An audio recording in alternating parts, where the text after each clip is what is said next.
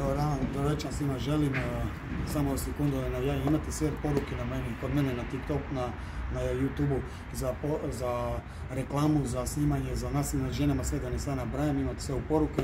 Evo mi je čas, imamo prijatelja, bolestnog braća. Evo, drago mi ste mi džo- gost, počesni, u srca i zahvalim, ne mogu. Evo, baram od srca se zahvalim, ne mogu s ničim drugom, baram ljubav. Hvala i puno što ste mi dali priliku reklamu za život. Ja vas sam zamolio, ako možete reći, a, radi generacijama nešto u životu. Molim vas, šta smo mi griješili?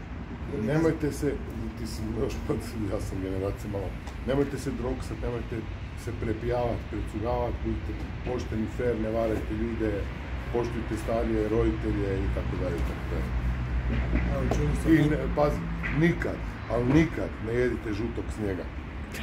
Dobro vam je rekao, ja sam, ja vam to pričam, znači morate roditelji poštivati, roditelji se brine, rade od jutra do sutra ti donese, treba cijeniti roditelji, pa uvijek što i pričam, znači to i stara ekipa, poštiva starije, Um, ja sam se zakon na YouTube ni na svoju svadbu neću alkohol pit, znači maknite se alkohol, droge, vjerujte mi, od toga nema kruha, ja znam što sam prošao. I to je patnja za obitelj, puno su se rastavili, puno su patili djeca, moj, ja znam po ocu, patio sam doma i to je veliko zlo, maknite se toga. To je sve dobra reklama televizijska, ali vjerujte mi, život ne valja. Točno. Slažemo se. Ako možete nešto samo za, za Božić, nećemo se možda lijepa Sretan, sretan Božić svima koliko vas ima. Halo, baby Dux. Hvala, uh, Duksu od srca još jednom Zagreba i pozdrav ti želim tebi ovo da ste živi, zdravi, večeri, Sve, sve najbolje u. Može. Hvala puno srca.